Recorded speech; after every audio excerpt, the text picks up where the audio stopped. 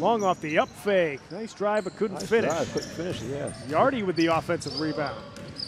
Behind the back, scores Yes, with the runner. That one she took her time. Didn't worry about the contact and just put the shot up.